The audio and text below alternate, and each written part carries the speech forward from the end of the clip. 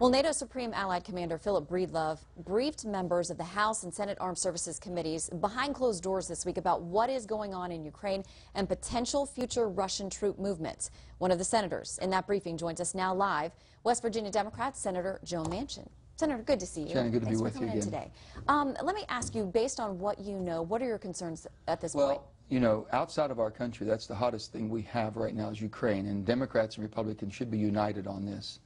Ukraine's got to have the will to fight. We have to have the will to support them. NATO has to have the will to, to, to come together also. And then basically our NATO, NATO allies right there are very concerned. And we've got to show them that the support, you know, bar none, we're going to be there for them. We're going to be there to help them and work with them and to fight with them if we need. From that standpoint, we don't want to be drawn into this thing. Ukraine's a very, very, uh, uh, it's, it's a very delicate situation since basically Ukraine is not a member of NATO and doesn't, we don't have the same jurisdiction or same powers or the same agreements. With that being said, they need all the help they can to get rid of, make no mistake about it, Russian influence, the Russian orchestrated, if you will, rebels, hooligans, whatever you want to call them, that are well trained and well disciplined doing what they're doing. And we've got to be willing to stand behind Ukraine to help them do what they need to do to get rid of this insurgency. Now, does that provoke Russia moving on their troops in? I would hope Russia would think twice before doing that. Let me ask you, uh, a number of your Republican colleagues Mm-hmm. have put together the Russian Aggression Prevention Act of 2014. It would strengthen NATO. There would be new rounds of sanctions. Uh, it would do things like force the president to move forward with missile defense in Europe, which was tabled essentially. Could you support something like that? What do you think is the right move for us Oh, now? absolutely. We all need to, to find out how sanctions are by far the best way for us to go, by far, because nobody wins in these land wars, if you will. And we've proven that it's not something we have an appetite for.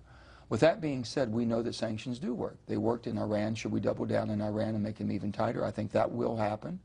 Uh, do can we uh, force Russia to come to their senses because economically they can't stand what we can do to them? Can we go after their energy market, which is at the heart of who they are? It's the pulse of what they have going on right now, and they're using that to their advantage. Everything and anything that we possibly can do should be done. So, yes, I would work with my Republican and Democrat colleagues to find the strongest measures we can to curtail this aggression from Russia and prevent that. If there's going to be a civil war, it's sometimes hard to prevent a civil war from that standpoint. But if this war is brought on and they want to disguise it as a civil war because of the support and influence of Russia, then it should be revealed for what it is.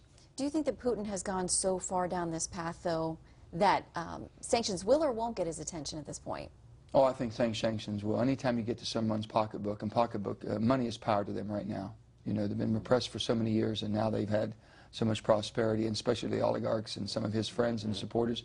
He hadn't done too bad himself. So when you look at everything, follow the, follow the money, as they say. Uh, that usually will bring people to their senses, or if they've gone over, they'll be going by themselves, he'll have no support from behind, and he'll have to retreat, or he won't have people following and supporting him. All right, so this is international. We want you to stick around. and We're going to talk some domestic issues as well. We're going to take a, a quick break, then we're going to continue our conversation.